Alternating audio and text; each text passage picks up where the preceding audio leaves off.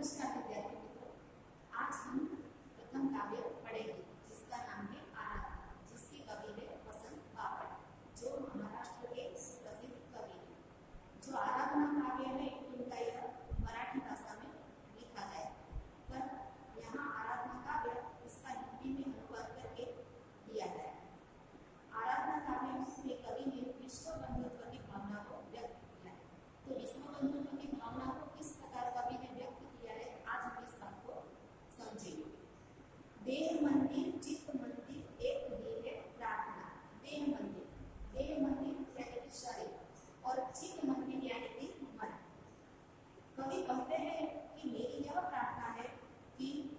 शरीर और मन से सत्य शील और सुंदर की उपासना हो उनकी पूजा हो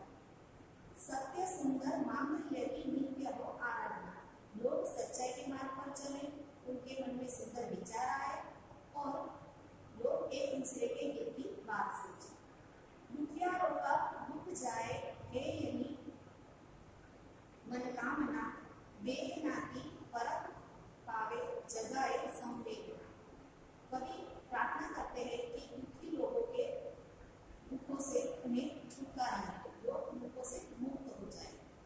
वेदना की परख पाने लोग एक दूसरे की पीड़ा का अनुभव करें दुर्बलों के रक्षणार्थ और उसकी दुर्बल यानी कि जो असहाय, दुखी लोग हैं। दुखी लोगों की रक्षा के लिए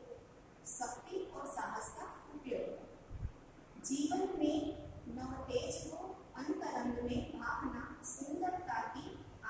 मानवता की हो उपासना। लोगों के जीवन में नया प्रकाश हो। उनके हृदय में सुंदर भावनाएँ हो। उनके मन में सुंदर आशाएँ हो और लोग एक दूसरे की मानवता की पूजा करें शौर्य पावे धैर्य पावे, यही है अभ्यर्थना सभी लोग शौर्य शौर्य यानी कि वीरता और धैर्य यानी कि धीरज। सभी लोग वीरता और धीरज प्राप्त करें, यही प्रार्थना करते हैं। मेघ सभी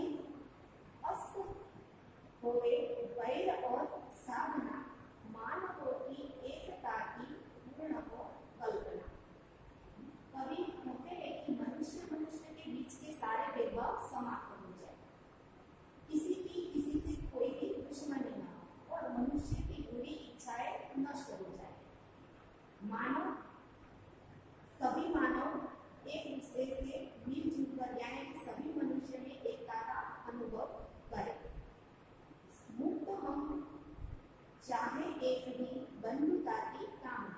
हम स्वतंत्रता और बंधुता की कामना करते हैं यह बात कवि ने इस काव्य में समझाई तो इस काव्य का सार यह है कि कवि कहना चाहते हैं कि संसार में सभी लोग